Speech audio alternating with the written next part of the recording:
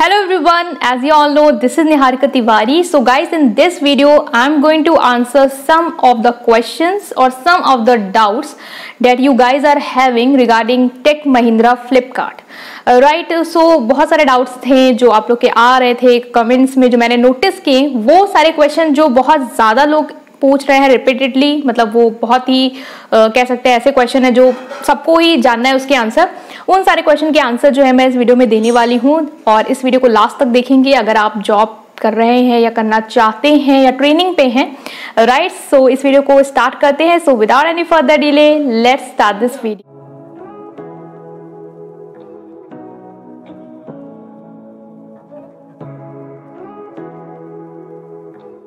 पहला जो क्वेश्चन यहाँ पे आता है वो आता है नाइट शिफ्ट को लेके। मैंने देखा बहुत सारे लोग इसके बारे में पूछ रहे हैं कि नाइट शिफ्ट होती है या नहीं होती है।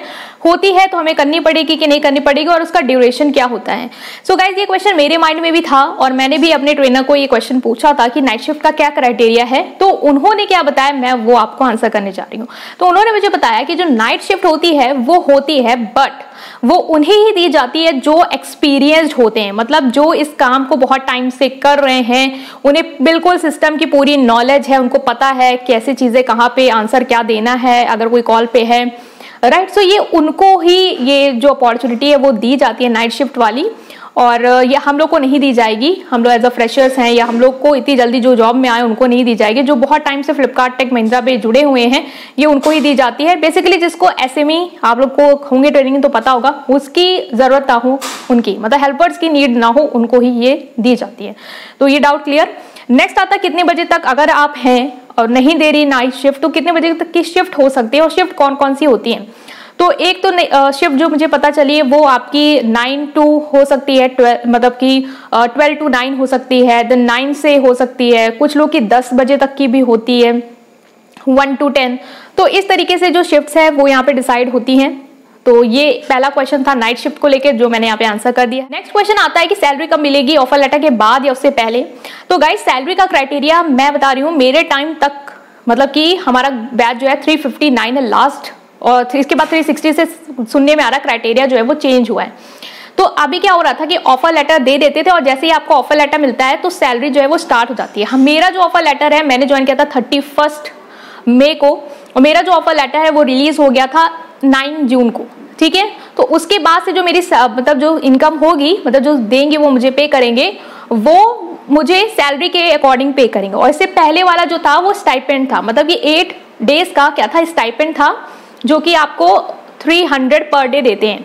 ठीक है? तो स्टाइपेंड मुझे मिल गया है अकाउंट में आ चुका है that is 2400 for eight days और इसके बाद से जो आपको दिया जाएगा for I think per day four fifty something वो आपको सैलरी के अकॉर्डिंग दिया जाएगा फॉर ट्वेंटी डेज़ जो कि ट्रेनिंग आपकी ट्वेंटी एट डेज़ की होती है, ठीक है? तो ये क्लियर है? बट अभी जो सुनने में आ रहा है कि 360 के बाद से प्रोसेस जो है वो चेंज हुआ है।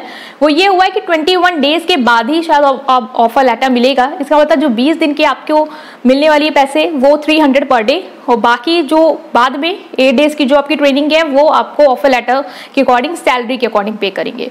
तो ये मैंने यहाँ पे क्लियर किया कि क्या क्राइटेरिया होगा इस बार का। अभी आप जाते हैं तो आप एक बार कंफर्म कर भी सकते हैं कि ऑफ़र लेटर कब तक रिलीज़ होगा।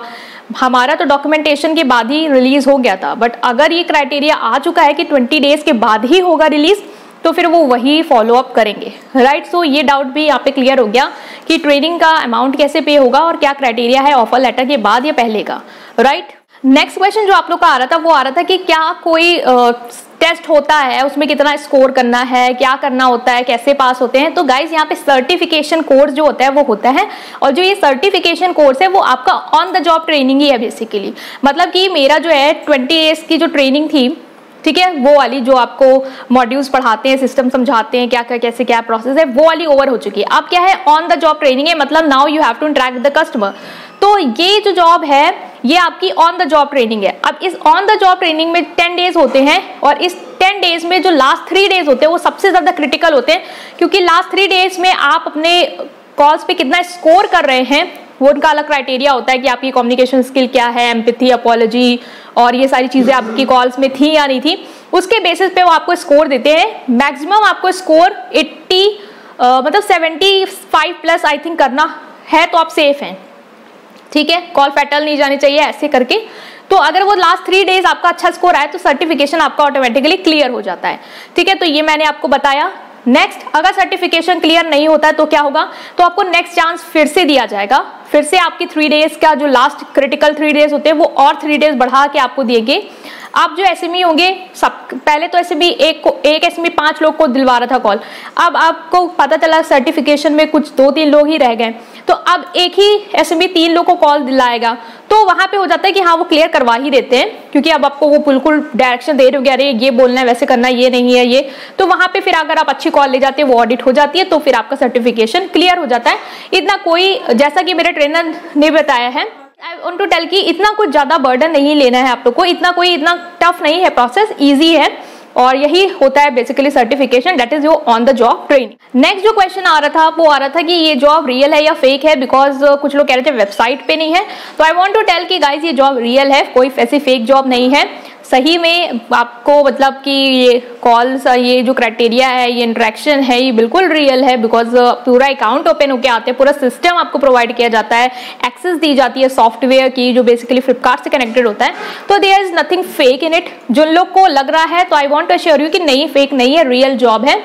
और हाँ इट्स नेचुरल uh, कि हम लोग इतना फेक जॉब देखते हैं कि ऑनलाइन कि इतने पैसे कमाओ वैसे कमाओ तो लग जाता है यार फेक है या नहीं है। नथिंग यू नो ऐसा नहीं है कि बिल्कुल आप गलत सोच रहे हैं या आपकी गलती है। नहीं ये बिल्कुल जेन्यून थिंग है सबको होती है प्रॉब्लम की हाँ मुझे भी होती थी कि है फेक या नहीं है। तो but I want to assure you on my behalf कि जो मैं देख रही हूँ वो उसके अकॉर्डिंग ये रियल है। ठीक है? तो यहाँ पे ये कुछ क्वेश्चन थे आप लोग के जो ट्रेनिंग को लेके जो सैलरी को लेके ऑफ़र लेटर को लेके फेक या रियल को लेके थे जो मैंने आंसर किए हैं। और अभी मेरा जो ऑन द जॉब ट्रेनिंग का डे थ्री हो चुका है कंप्लीट अब डे फोर है कल से तो ये मैंने आप लोग को बताया कि कैसा क्या प्रोसेस है यहाँ का। नेक्स्ट वीडियो में मैं अपना on the job training experience share करूँगी और इसके बाद वाली एक और वीडियो आएगी जिसमें मैं बताऊँगी जॉब करनी चाहिए या नहीं करनी चाहिए कैसा है यहाँ का एक्सपीरियंस सो so, उस वीडियो को उस वीडियो को भी आप वेट करेंगे और देखेंगे। राइट गाइज़ सो अगर आपको ये वीडियो पसंद आई है then please press like button and subscribe to my channel thank you